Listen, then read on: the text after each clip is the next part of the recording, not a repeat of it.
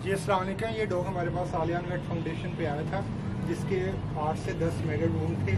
तो अभी आप देखिए जो वूंड है, मैगट्स बिल्कुल ख़त्म हो चुके हैं। जो वूंड है, वो हीलिंग की तरफ़ जा रहा है, लेकिन अभी भी इसको 10 से 15 दिन लगेंगे, ताकि जो वूंड है, वो प्रॉपर केयर हो सके, वो प्रॉपर हील हो जाए।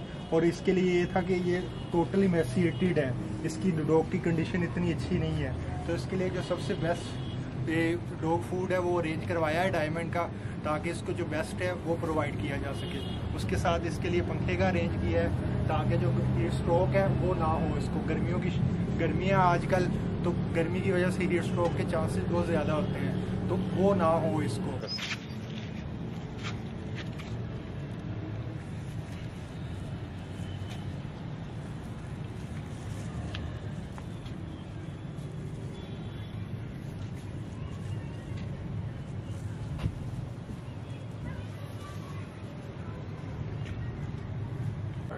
जी असलम आलियान वेलफेयर पे एक कैट आई है, जो कि जिनकी है वो अडॉप्ट करवाना चाह रहे हैं। उसकी रीज़न मतलब कि नेबर की वजह से थोड़ा सा प्रॉब्लम है फैमिली इश्यूज़ है, जिसकी वजह से वो अडॉप्ट कराना चाह रहे हैं। ये कैट 1.5 ईयर ओल्ड है फुली वैक्सीनेटेड है डिवर्म्ड है, ठीक है। अभी सिर्फ़ इसका जो आने की वजह है, वो सिंपल ये है कि कैट फाइट की वजह से ये नेल का निशान है बगैर इसके अलावा फुली वैक्सीनेटेड है जो भी अडॉप्ट करना चाहिए वो आलियान वेलफेयर पे लाहौर पे कनेक्ट कर कॉन्टेक्ट करके इसको अडॉप्ट कर सकता है